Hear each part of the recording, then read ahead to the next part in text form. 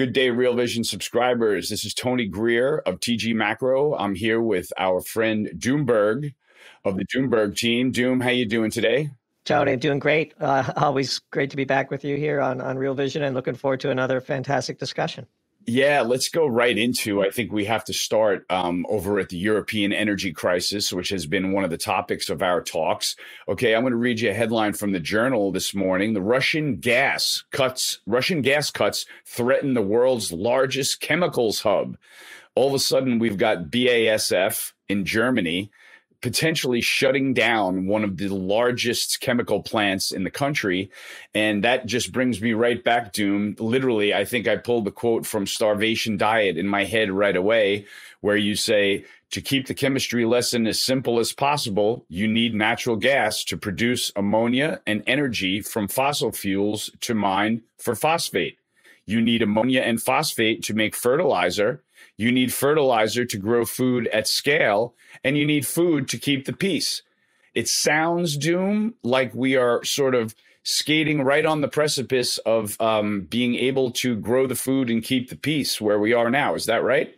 Yeah, that's right, Tony. And and I think it's important to set some context. We wrote that piece back in October of 2021, and um, the facility that that the Wall Street Journal was reporting on today is um, BASF's largest and it's the largest chemical facility in the world, uh, the Ludwigshafen site, and it's um, it's really massive, and it uses natural gas um, not just as an input for raw materials, but also for uh, the industrial heat that they need. And if they can't get the natural gas from Russia, and that plant shuts down, it, it it's a big deal. And and I should just give a little bit more um, data for for the for the viewers here. Um, the, the, chemical industry is vast. It's important. It feeds um, almost everything in our daily lives. We put out a thread um, over the weekend, you know, on where stuff comes from on Twitter that kind of went viral. Um, there's there's lots of chemical sites, but there's these really big, massive integrated sites. And um, the BASF site in Germany is the biggest one in the world and the biggest one in Europe. Um, there's BASF also operates a similarly sized site in China.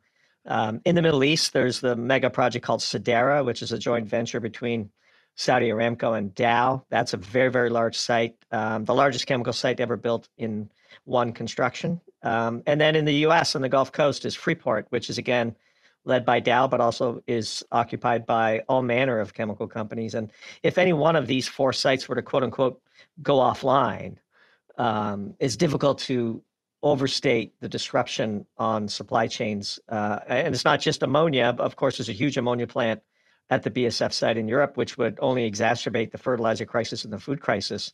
But broadly speaking, we've been warning about how natural gas sits at the very front end of our supply chains and how um, cracking of that whip, you know, the, the, the end of that whip is going to smash on the concrete in our delicate supply chains in a way that is going to make a lot of noise.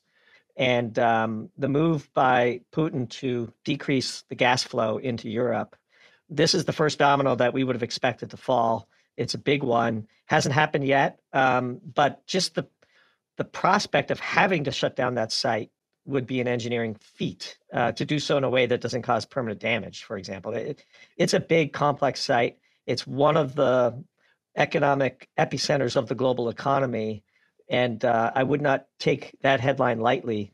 And uh, and unfortunately, it's one that we have been warning about and predicting for the better part of a year.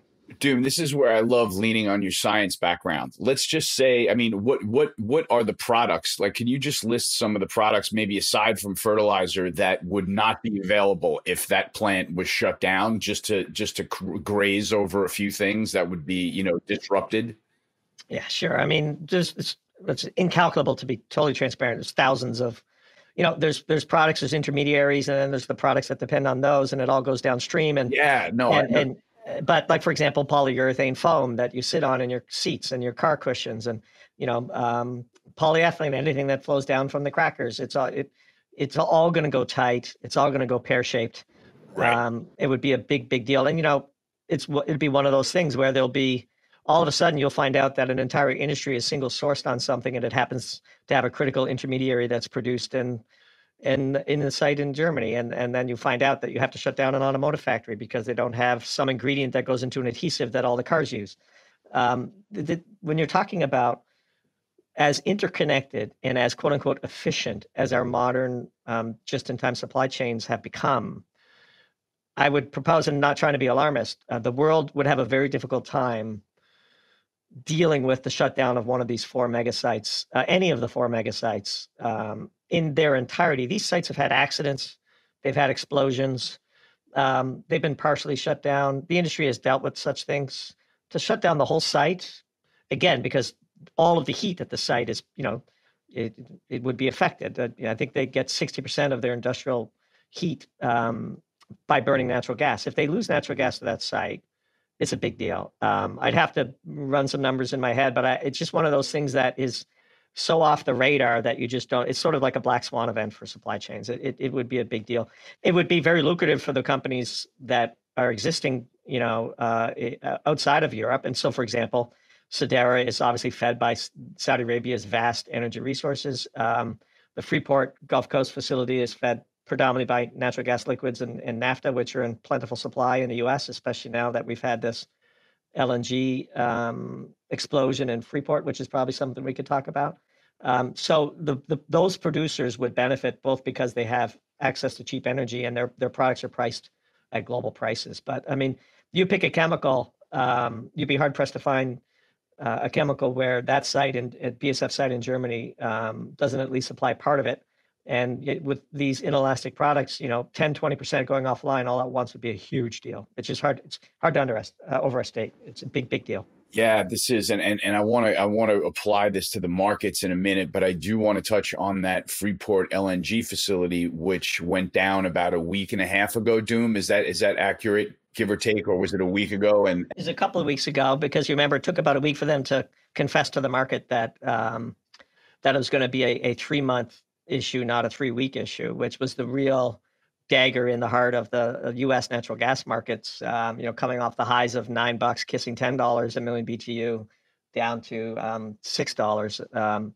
now, you know, we were joking in the TG Slack room this morning, not joking, commenting on uh, in the TG Slack room this morning um, that um, any headline that would indicate that Freeport LNG might be coming back online sooner would be incredibly bullish for U.S. natural gas. But what happened basically is, um, you know, this this plant exploded, and that took offline about twenty percent of the U.S. natural gas export capacity. And people were kind of confused at first, like, why is U.S. natural gas? Why are U.S. natural gas prices dropping on this news? Well, it's because there's no place to put the gas now. That gas was earmarked to Europe. Um, so what you saw after the news happened is is U.S. natural gas prices cratered, and European natural gas prices spiked, um, and that makes total sense because those those that production was earmarked for for Europe. Now, good news for U.S. consumers, and and we're both in that camp. Um, that gas being stuck here reduces the chance of a gas crisis uh, unfolding in the natural uh, in the North American you know markets this winter, which I'm personally grateful for. Um, we were running somewhere between 15 and 20% behind historical storage uh, inventories for this time of the year. And that's why you're beginning to see, you know, natural gas prices go up to nine or ten dollars per million BTU.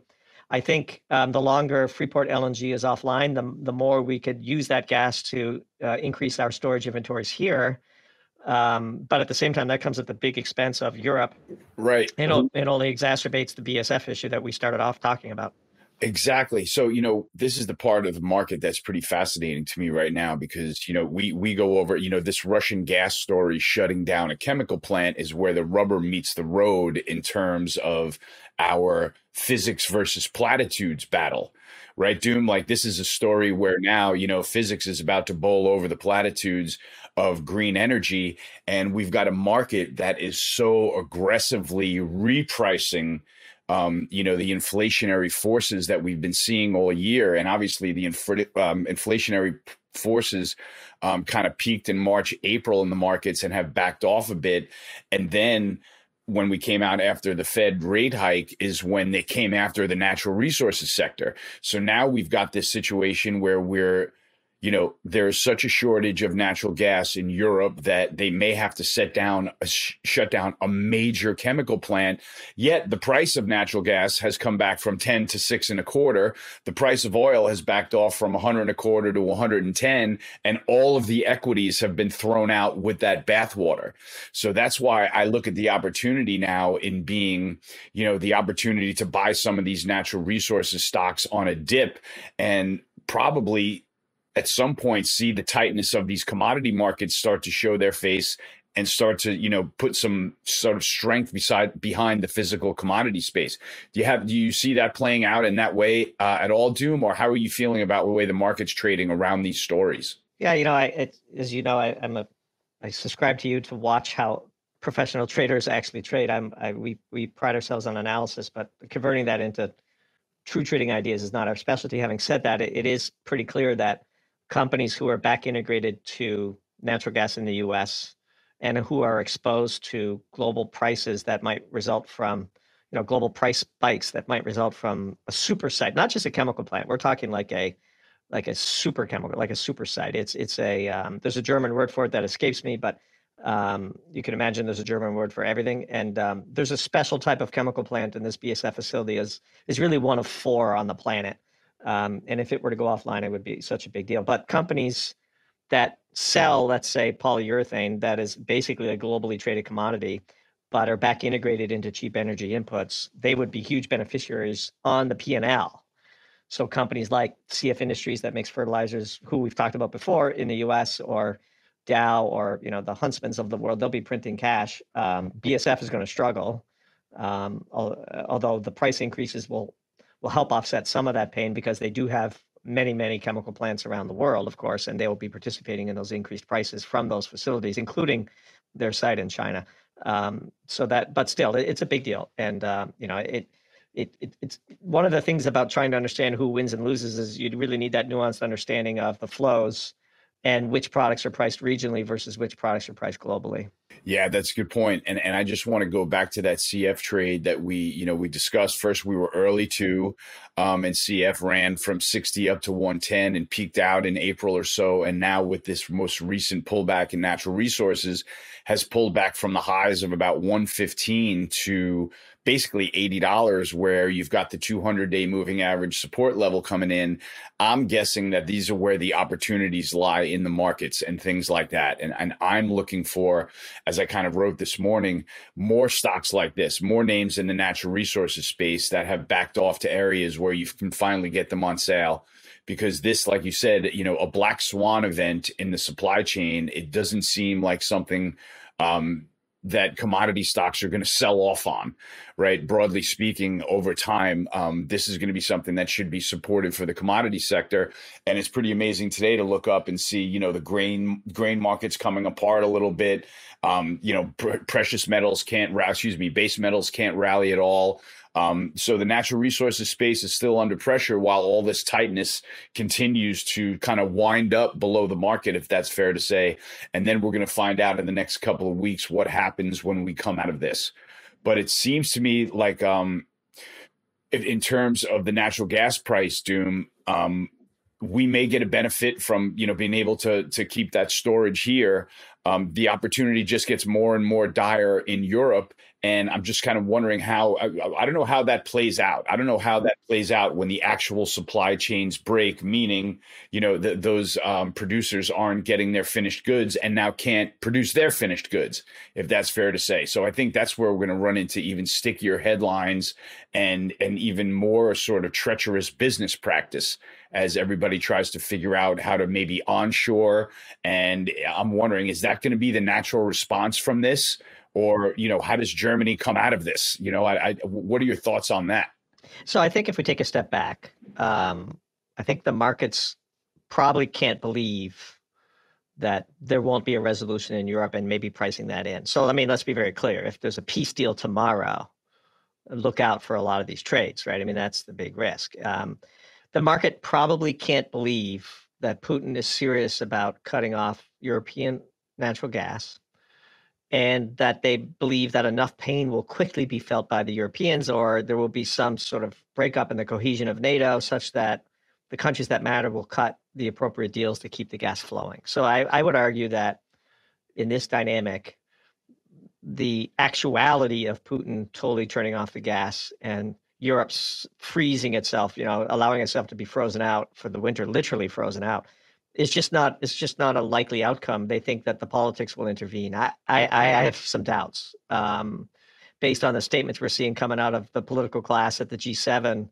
Um, I, I, I I have some doubts. Now, look, I mean, it could happen. I hope it happens. For the record, I'm for low oil prices you know the Doomberg team wants cheap natural gas. Energy is life. We don't we don't want to be right on something at the expense of people dying.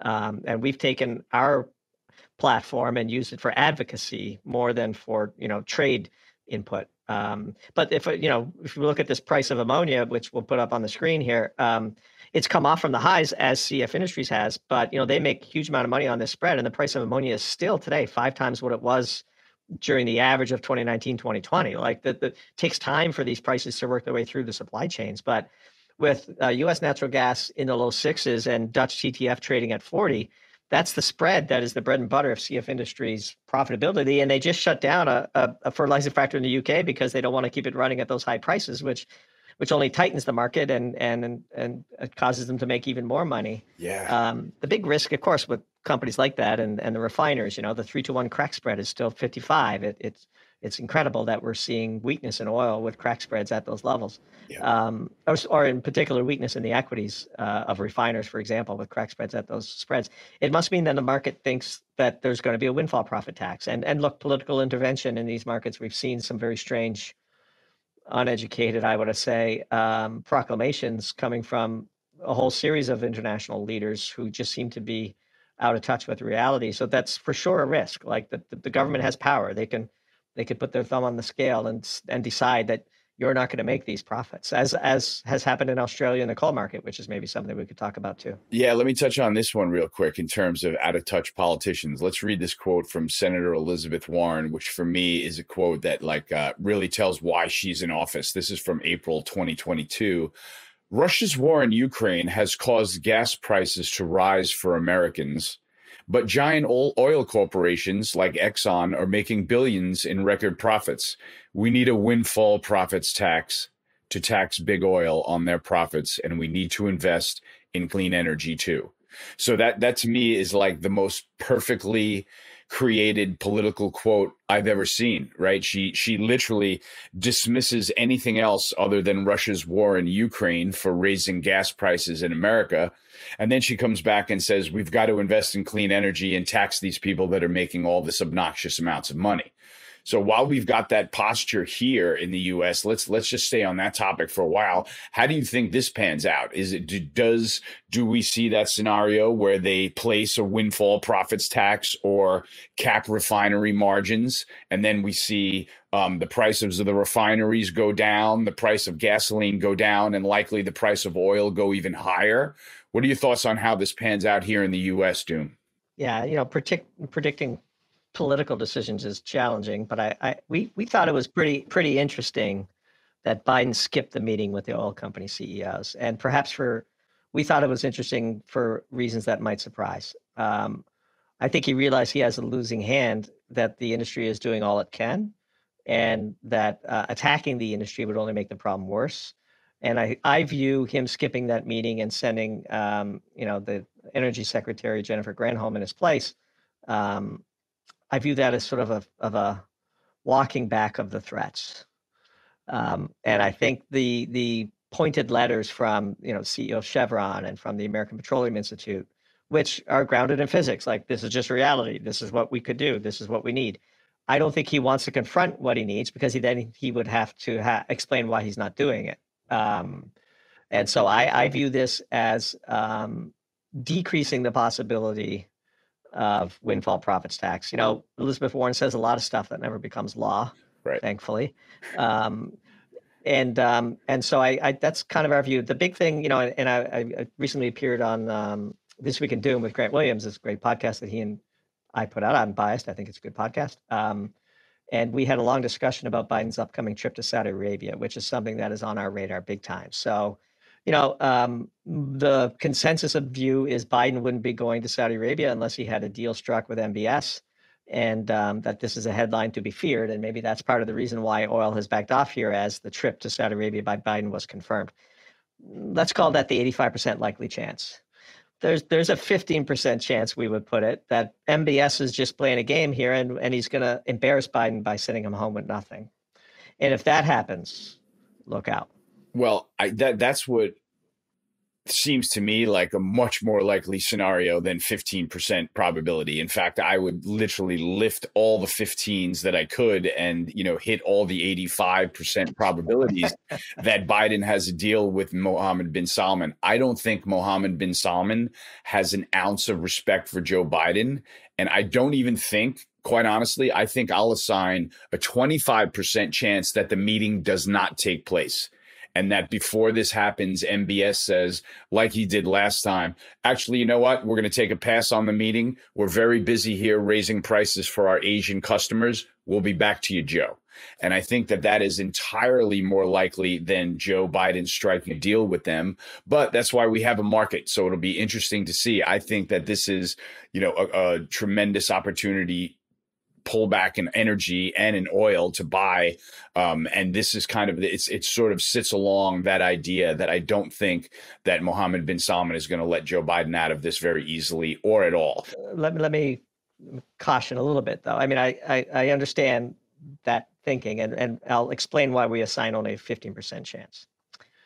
It is still the office of the president of the United States. The United States is still the unquestioned global superpower the United States has significant military resources in the region, and it's not like we don't have a track record of using them.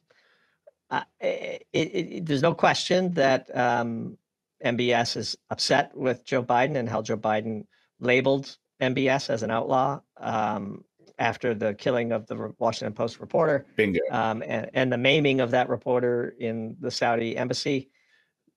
It is still the office of the President of the United States it would be such a shocking thing to invite the president only to embarrass him and send him home with nothing that I can't we can't bring ourselves to put a higher than 15% chance on it. I would say the market assigns it a less than 1% chance. Um, 25 or, you think it's 75 25 the other way that's a little rich for us. Mm. but that's why it is a market and um, i certainly love the discussion. I just want to make sure that the listeners understand doomberg's position. It's different than tony's. Totally fair totally fair. That's why we're going back and forth here. We're talking about the you know a potential energy sort of crisis and another supply chain crisis in australia. Do you want to break that open for us?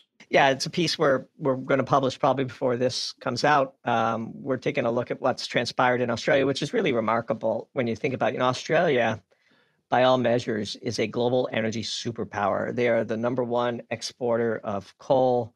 They're kind of tied for first with the US and Qatar for exports of liquefied natural gas. They're really a fulcrum supplier in the market today as Europe goes through its energy crisis and that leaks into Asia. And despite having such a bounty of natural resources, two weeks ago, um, the majority of the Australian grid was uh, on the verge of collapse, and the government had to intervene and literally shut down the spot market for electricity, um, cap prices, um, use emergency powers to dictate um, who would supply what at what price, and had to urge the you know the consumers of Australia uh, to use as much as little energy as possible to conserve as much as possible because the grid was on the cusp of of blackouts. And you know, you expect that kind of thing in, you know, emerging economies where political collapse has transpired, places like Venezuela or California, but you don't expect it in a first world country like Australia. Um, and um, and so it's a real big deal, and we we've dug into it a little bit. We're going to publish on it, but w- what's really transpiring there is, despite all of the investment in renewable resources like solar and and wind, more than two thirds of of Australia's electricity is still generated from coal and that industry has been under substantial attack, of course. And um, at the same time, the much like New England, um, you know, the east coast of Australia is paying basically international prices for natural gas, despite being one of the world's largest exporters.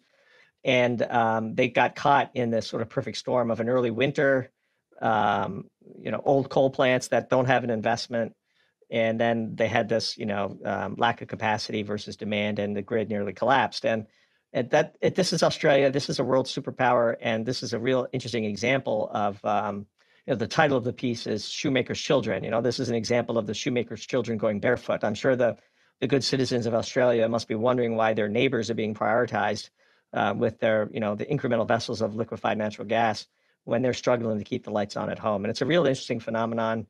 The government's response to it is, of course, of interest to us because it signals, you know, this is sort of a precursor to what we're going to see happen uh, here in the U.S. And we joked, of course, calling California a third world country, but it's not that far from it the way they're behaving, and they're going to see the same results. And so it's really just a, a real a canary in the coal mine for grid stability issues uh, affecting wider parts of, of, of the US and, of course, Europe with its own special situation. Man, this is a massive story. And I, I, do feel like that it could be, you know, training ground for us to watch, you know, in terms of the shortages that we face. You know, we had that situation in Texas last summer um, you know, that put a lot of strain on on the electric grid, et cetera, et cetera. It looks like we're gonna get a good preview over there of what might happen over here. I can't imagine how, um, like you said, that they're going to allow this to happen, but this is part of that, you know, part of the ESG war that's taken place and and it's physics versus platitudes all over the world. It sounded like just to touch on California that you mentioned. I saw over the weekend that they're going to try to, you know, pass stimulus checks to send out one thousand and fifty dollars to all California residents to deal with the, you know, increased energy costs you know, as we know on the trading side, you know, more borrowing is going to mean, you know, more and more um, probably rush into hard assets, probably, you know, continue to fuel the commodity um, rally and things like that. So I don't know what, I don't know how the way out of this is besides at some point, you know, politically getting to the point where we reverse a lot of the ESG policies that have been so damaging um, otherwise, we're going to have situations here that are going to be that rolling blackout situation that we're going to get to watch from afar. And I don't think the people are going to stand for it politically any longer. What do you think about that, Doom? Well, here's an f- interesting thing, of course, and, and we include this in our upcoming piece. Um, the, the response of the Queensland, you know, the state of Queensland in Australia um, to this electricity crisis, and again, two thirds of their electricity comes from coal is um, coal prices have exploded, and and we start the piece actually, and I'll include this, you know, this chart that will show the viewers here. Um, one of the really fascinating things has occurred. Uh, the the price for thermal coal, which is the cheap, dirty coal used to make electricity, has exceeded the price of hard coking coal, which is the higher quality coal used to make steel. Which I've never. I mean, we can't find data that that's ever happened before. Um, and that is what sort of set us down this path of investigating what's going on in Australia because you had this massive spike in thermal coal and so much so that it's more valuable than cleaner, um, less sulfur, less ash, um, high quality burning coking coal. Um, it, it's unreal. It's one of those prices that that you see on your Bloomberg, and you take a step back and say, "Okay, something significant is going on here. I don't understand it. Let's dig in." That's like a perfect Bloomberg piece for us. Yeah. And and the what's the the, the, the Queensland state, the state of Queensland's response to this is to increase the royalties applied against coal producers to change the rules in the middle of the game. You know, these coal producers were all going out of business, filing for bankruptcy, losing money when coal was, you know, at its bottom. Nobody was talking about bailing out these companies. Right. These companies make all their money in very short periods, very short periods of time. If you want to encourage investment in the maintenance of these facilities so you can affect a reasonable transition, um, you need to allow them to earn their cost of capital and then some. Um, and what instead they're doing is exactly what you would expect, you know, the people without physics training to do, which is they're attacking supply. They're taking that windfall profits, putting it into the general budget, wasting it on God knows what government programs. And the key message uh, is don't invest here.